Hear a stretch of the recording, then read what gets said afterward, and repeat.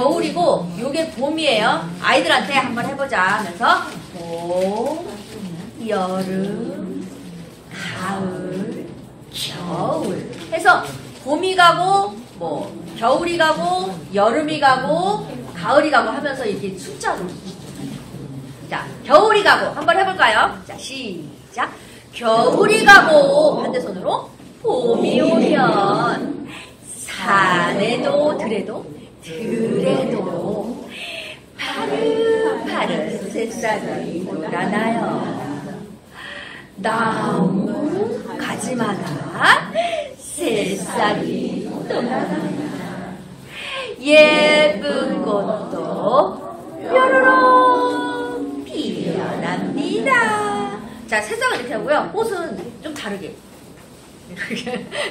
자, 한번 해볼까요? 다시요. 시작.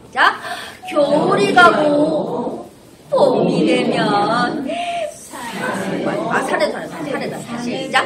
산에도, 들에도, 파릇파릇 새싹이 돋아나요. 나무가 가지마가 새싹이 돋아납니다. 예쁜 꽃도 해서 이제 봄이 되면